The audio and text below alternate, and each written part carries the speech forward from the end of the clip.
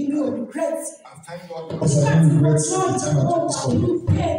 And when I joined this calling, I was in a severe pain. I was always feeling pain as well. I joined from morning to night, I always cried. So one of the members ní ní ìjọ yìí wá wá wá sí. Ọkàn nínú ọmọ ìjọ. Wọ́n jẹ́ ẹni tí máa ń bá mi wọ́n sọ. So wọ́n wá sọ fún mi pé ìyá. That told me by mom and dad. God showed me that I'm in a pain. As he was saying, I was crying, I shed a tear. I said it's true. Wọ́n I always feel the life of pain. Láti ọwọ́ ìdájọ́ mi mọ mi mọ àlàáfíà. From morning to night, I don't know. Mo gbàgbọ́ pé Ọlọ́run á tù mí sílẹ̀ ìjọ. I know God will deliver me. So ọjọ́ yẹn ó ṣàfihàn ní ara àwọn fáyà ìsìnkú fún mi. He gave me fire as I should come. So ó fi tó wá.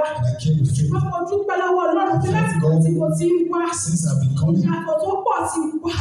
Bí o mọ̀ mi mọ́, mo ti fi àlàáfíà sùn. Mo ṣẹ̀lú jí, ìpàdé àdúgbò jí rọrùn nínú ilé mi. Mo jẹ́ mi ọkọ mi lórí ọwọ́ Ọlọ́run. I even my my husband see the end of one of his life. Everything glory to God. Every shape of we shout.